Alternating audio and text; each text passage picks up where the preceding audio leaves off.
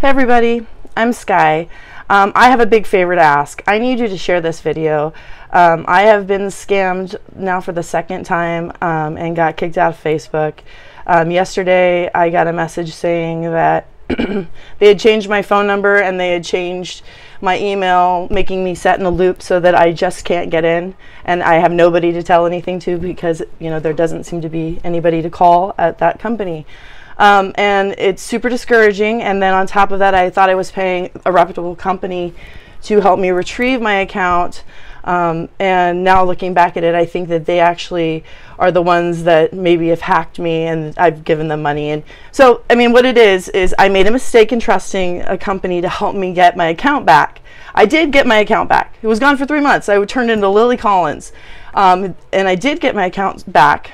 But not after them like trying to trickle a couple of, you know money from me but I accidentally like went to log in thinking, well, who knows? Maybe it won't be not deleted. And it wasn't. But then again, I got hacked. So, I mean, I got less than a week with you people. So if you do me a huge favor and let people know that if you know Skye Lockhart or if you don't know me, go fucking find me, dude. I'm not a bad person. I'm a landscape designer, mama, um, rock nerd, um, I'm an actress. I'm a bit of a dork, but that's okay. But I like to share my life with people. I do. I love to get out there and, and tell you how I'm feeling or what I experienced, and I want to share with you, and I want you to share with me because I feel like we're in a world of family, right? And I, I believe in you. But, anyways, back to the subject don't let them scam you. So they're going to contact you and ask you for information, um, thinking that because this is a, a, close friend that you could give them that number. And I did fall for it, dumbass me, but don't fall for it. Please let Facebook know that that's not me. Give me my fucking account back. And um, if you do me a huge favor, and you know like if you know the right LifeLock situation what path i should take to make sure they can't use this information? Because i thought i was using i thought they were checking for to make sure my identity was so that i could be part of facebook. We all make mistakes in trusting people so it is what it is.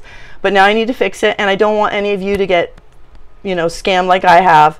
And I, i'm not sure that i should share the names of these companies exactly because i'm but i'm sure i should um, but right now, I just need your help getting Facebook to pay attention to this because it's obviously a problem. And I'm not paying any more money for somebody to not get me back to my account to just be taken again. So I don't know exactly how to fix it, but I, I'm looking to you beautiful people to give me some insight. I love you. Please don't judge too bad. I'm just a mom working my ass off thinking that um, the social media would help grow my business, Blue Skye Landscaping, um, and that I could connect to people I've known forever, and they took it. So fuck them, and please help me get it back. I love you, and I hope I get to share shit with you because I want to encourage you to be the badass that you are. Much love.